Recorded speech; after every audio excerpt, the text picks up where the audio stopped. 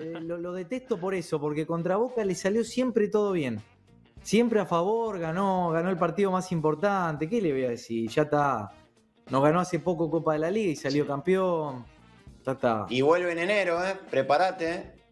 Bueno, Pará, y justamente con eso, porque hay chances que Enzo Pérez vuelva ahora a River, y ojo con esto, porque ayer Lolito tiraba, en enero vuelve seguro, en enero hay grandes posibilidades que vuelva Enzo a River, se acaba su contrato y todo, pero ¿qué pasa? En las últimas horas se confirmó lo de Aliendro, que se molestó el hombro, va a estar entre dos a tres meses afuera, Gallardo lo devolvió a Peña, por lo cual ahora está en baja y tendría que buscar un nuevo mediocampista, y ahí apareció otra vez el nombre de Enzo Pérez, más teniendo en cuenta la buena relación que hay entre River y Estudiante, que en las últimas horas le cedió a Boselli, el defensor uruguayo, que con la llegada de Pesela ya perdió todo su lugar, así que decidieron, para que no se estanque, que siga creciendo justamente en el pincha por recomendación de Gallardo, que le dijo, si querés crecer, anda estudiante que te va a ir muy bien. Bueno, se fue 18 meses sin opción de compra y también puede ser repescado en todos los mercados que haya. Con este visto bueno, todos decían, che, algo están tramando, hay muy buena relación, pero por el momento son solo rumores, nadie indica de que Enzo podría volver ahora. De hecho, también desde creo que Radio Continental era, decían de que Suculini podía volver también a River.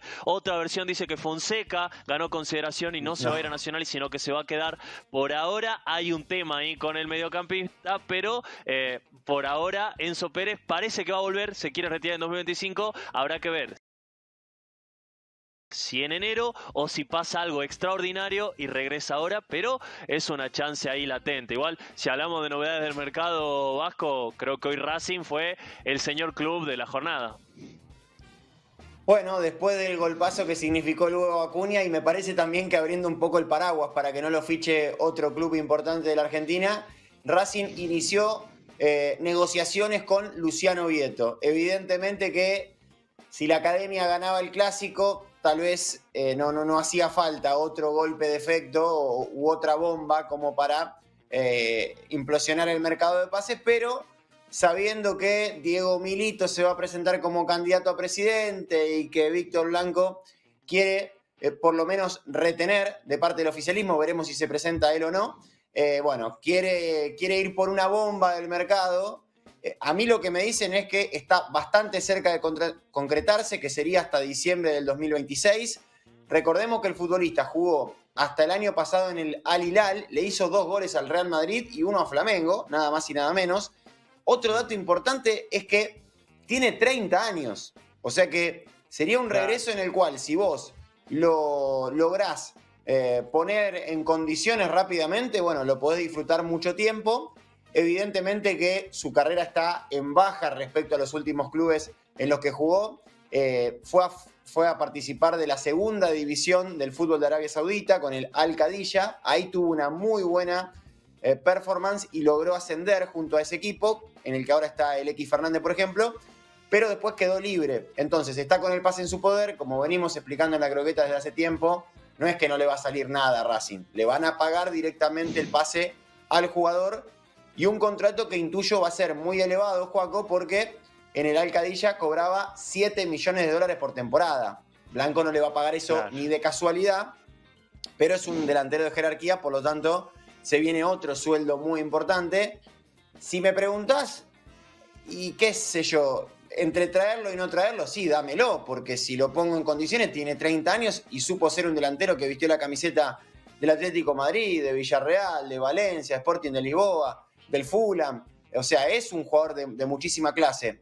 No era lo que necesitaba Racing en este momento. Es medio como jugar, viste, al, al FIFA y traer otro delantero de calidad, pero para poner en el banco para los últimos 15 o 20. O sea, entre traerlo y no traerlo, lo traigo. Me hubiese encantado que Blanco ponga la misma energía para contratar un volante central como Echeverría, que lo pidió, un delantero como Milton Jiménez, que lo pidió, y un lateral volante.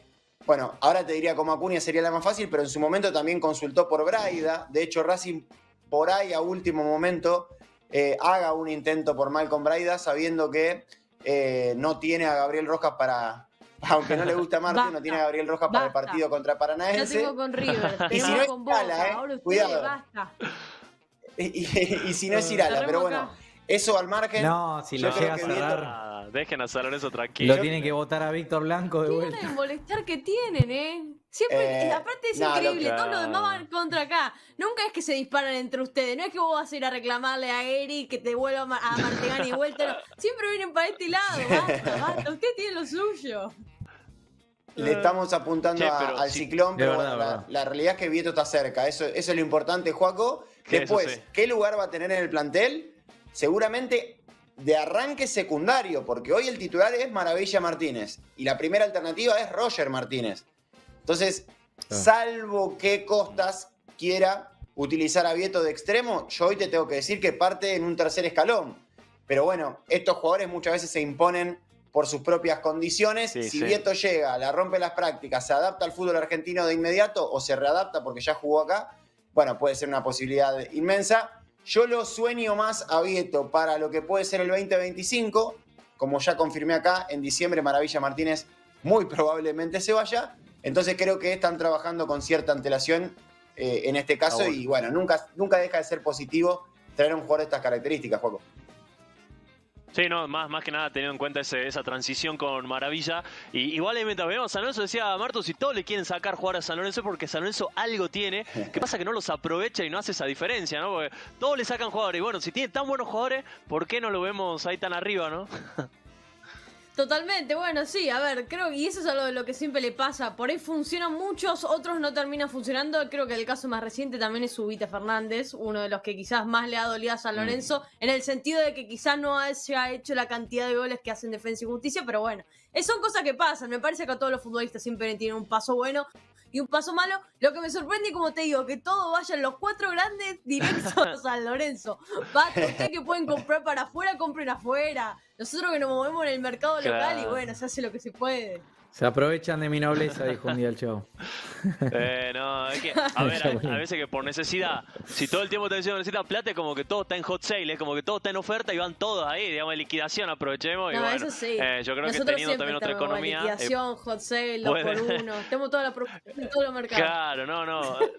Teniendo algo mejor, bueno, pueden ahí mejorar. Como igual que lo vendieron a GI por 7 millones al Palmeira. Un monto similar en el que Belgrano podría vender a Matías Moreno a la Fiorentina, este prometedor defensor de solo 20 años, que está muy cerca de irse también a Italia. Se habla de una oferta de 5 millones y medio más bonus, dejándole un 10% de una futura venta. En total está tasado aproximadamente en 7 millones. Está muy cerca. Y ojo, porque, claro, recién lo mencionaba Eric, la chance de Barinaga, el lateral que se podría ir a Boca. Algunos dicen ya está todo acordado con el jugador por un contrato de tres años, solo falta el sí definitivo de Belgrano, la primera oferta creo que fue dos millones y medio más el pase de Rolón que todavía no está pagado, Belgrano dijo que no, entonces es tirar un poquito más, se especula que será entre 3 millones y medio aproximadamente más el pase de Rolón para acordar lo que dijo Eric, un refuerzo que llega, pero capaz que el timing no fue el mejor.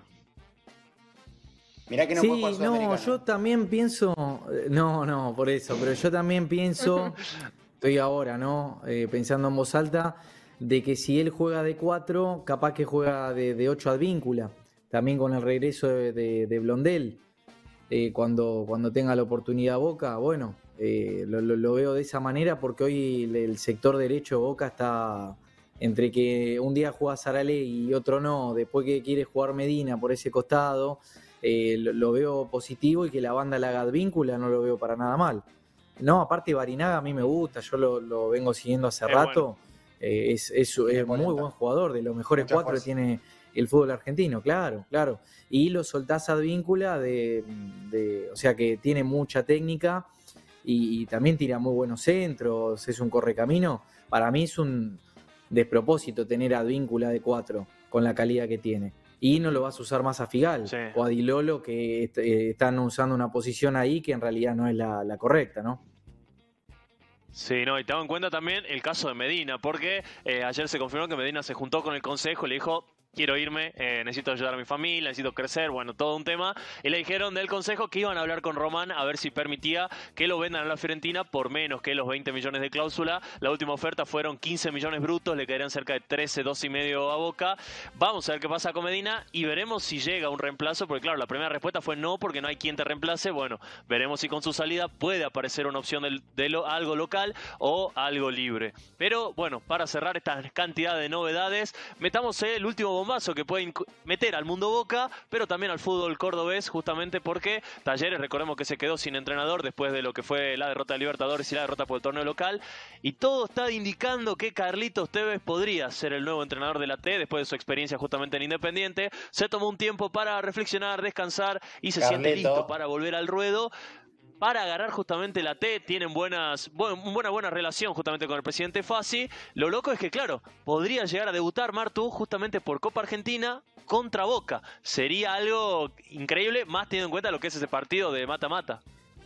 Un crossover no esperado. No, igual a ver, eh, yendo también un poco al, al laburo de, Tevez, me parece que, y más allá de lo que sucedió con Independiente, con el hincha Independiente, es un buen club, me parece, para volver a tomar ritmo, para agarrarle también la mano a, dirigir, y me parece que después a la larga también termina siendo experiencia y práctica. No me parece un mal, un mal equipo, y creo, y más teniendo en cuenta en cómo viene la T, me parece que también un poco en los vestuarios, es un técnico que también impone un, un cierto tipo de identidad y es, un jugadorazo, así que creo que eso también le va a venir muy bien para aprender a los más jóvenes, creo.